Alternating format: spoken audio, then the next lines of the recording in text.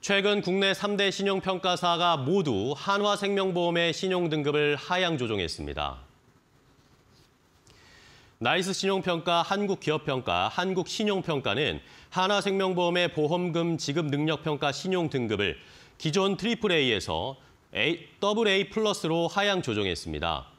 신평사들은 한화생명보험의 자본 여력이 다른 대형 생명보험사들에 비해 낮은 데다 실적이 투자이익에 기대는 기조가 지속되고 있다는 평가였습니다.